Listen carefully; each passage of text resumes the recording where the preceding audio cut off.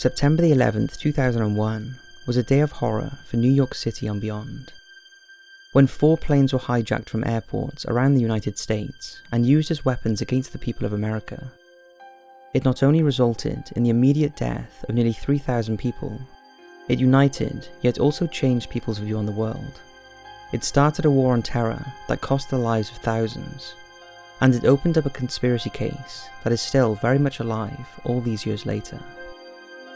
But theories aside, the reality of what the people involved experienced that day, whether you think it was an inside job or not, was real.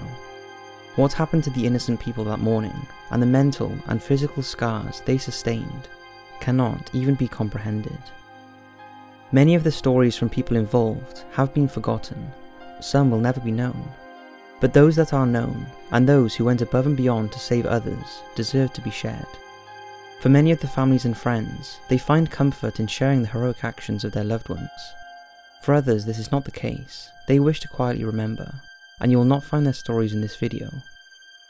Rest in peace, all those who lost their lives that day, and the horror the people affected had to endure in the aftermath of 9 11. Wells Crowther.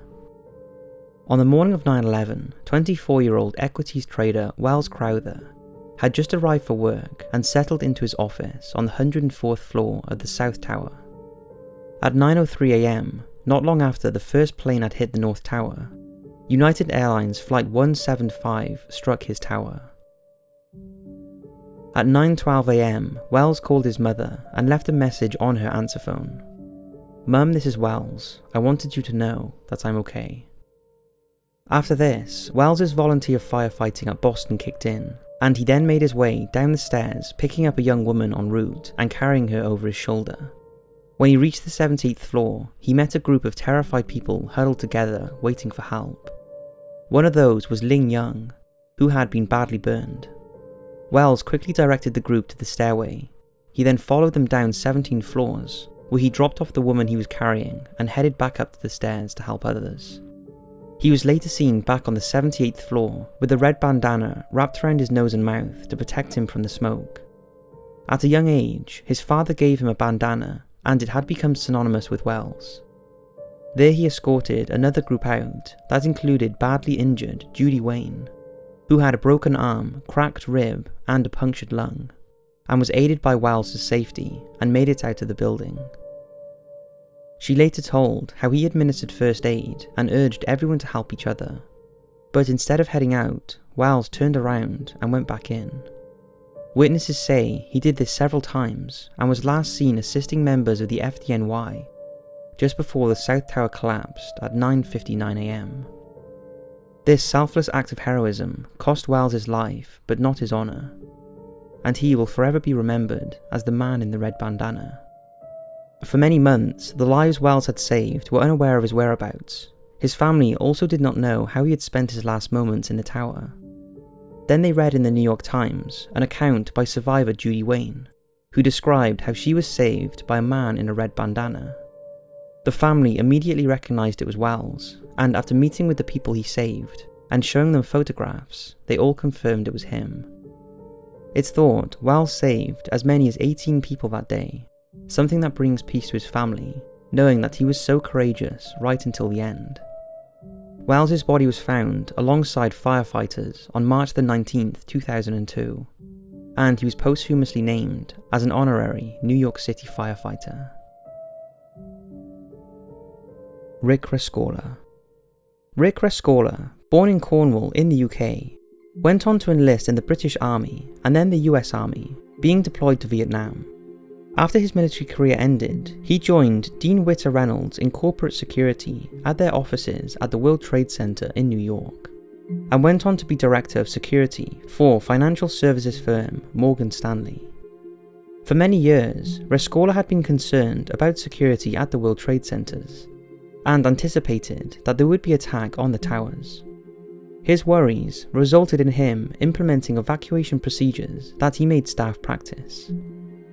Well, on the morning of the attacks, Rescorla was on the 44th floor of the South Tower, and when the North Tower was struck, he ignored the advice that came over the PA system, urging everyone to stay at their desks. and ordered all Morgan Stanley employees to evacuate immediately. This included the 1,000 employees in World Trade Center 5. As he calmly directed people down the stairwell, the second plane hit, rocking the building violently and sending people into a panic. To distract them from the unfolding disaster and calm the evacuees, Rescorla started singing Cornish songs from his childhood, including the Welsh song Men of Harlech, with the words changed to Men of Cornwall. Rescorla even managed to call his wife, telling her he needed to get people out safely. During that morning, he successfully evacuated most of Morgan Stanley's 2,687 employees. But instead of saving himself, he went back into the building to try and evacuate everyone else. Rescorla was last seen heading upwards on the 10th floor shortly before the tower collapsed. And the people he saved will never forget the length he went to to keep people calm and significantly reduce the loss of life that day. The amazing people of Gander. When terrorists decided to wage war on the US with the horrific 9 11 attacks, it wasn't just those directly involved in the atrocities that were affected. The impact was felt by everyone around the world, not least those that were actually travelling in planes in American airspace at the time the towers were hit. But many people overlook the actions taken by the aviation authorities and how one town in Canada showed extraordinary generosity and compassion in the face of such unprecedented events. When it was realised America was under attack, all airborne planes in and around the area were sent a message. All airways over the continental United States are closed to commercial air traffic. Land ASAP at the nearest airport. Advise your destination. 53 of these planes opted for the detour to Gander Airport in Canada 27 of which were US commercial aircraft. After the planes landed, passengers and crew were fully informed of the situation and had to remain inside the aircraft for several hours before getting clearance to disembark. There were around 10,500 passengers, and all would be descending on the town of Gander. But the people of Gander were incredible. They called their unexpected guests the Plane People and the whole town came together to offer hospitality and reassurance to the terrified passengers. They converted facilities such as schools, community centres, and hostels into mass lodgings for the stranded passengers. Some were taken into local homes, and even women only facilities were set up to help reduce stress. All the guests were looked after by students from the local schools, and the community pulled together to cater for their every needs. During their two day stay, they were taken on excursions and offered superb food that was prepared by restaurants and residents for free. Even laundry facilities were made available, as the passengers' luggage was still on the planes. When the airports were reopened and the passengers were allowed back on the planes, every passenger was transported back to Gander Airport, and not a single passenger was missing or late. Everything was superbly coordinated to make sure it was as less stressful as possible. Once on board, the passengers shared stories of their stay and bonded with each other, exchanging phone numbers and email addresses so they could stay in contact. This act of kindness by the little town in Canada to over 10,000 strangers just proves there are a lot of good people in this world, and in the face of adversity, they always rise to the top.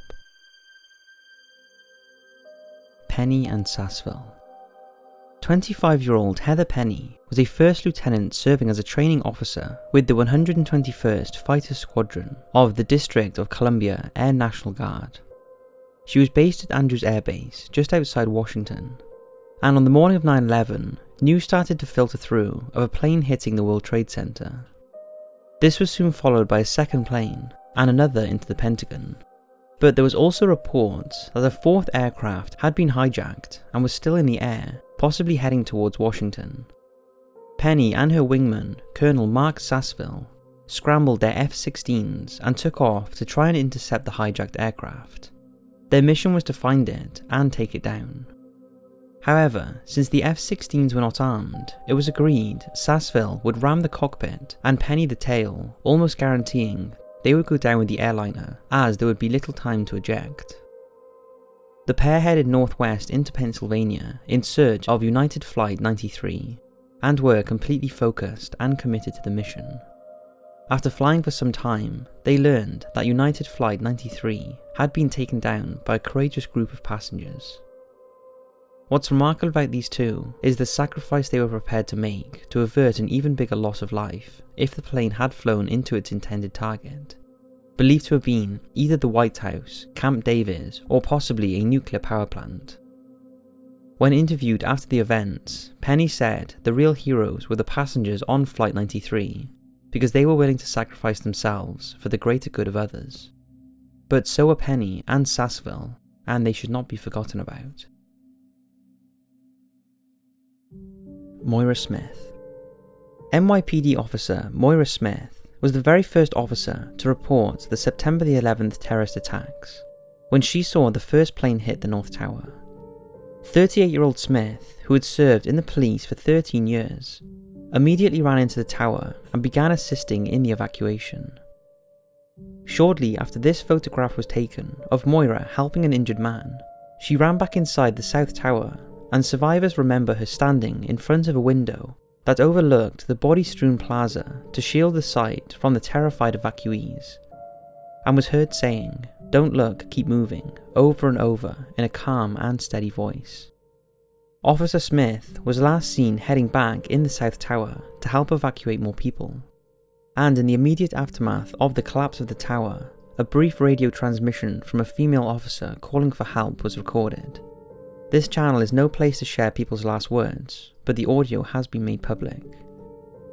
Officer Smith's remains were recovered in March 2002, and her shield and 13 collar brass are presented in the 9 11 Museum in New York City. She was survived by her husband and daughter.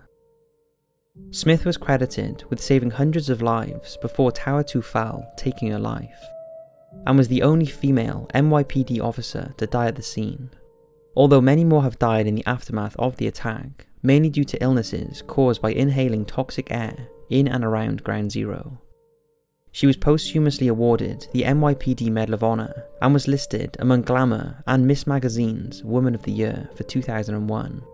Although when Caitlyn Jenner was awarded the same award in 2015, Smith's husband returned the award, stating, At a time when we have women in the armed forces fighting and dying for our country, Heroic doctors fighting deadly diseases, women police and firefighters putting their lives on the line for total strangers, brave women overcoming life threatening diseases. The list of possibilities goes on. Is this the best you could do? Smith died, saving lives and showing unbelievable courage. And when she ran back into the building to save many more lives, she sacrificed her own to give many others the chance to live. I cannot think of a more heroic action.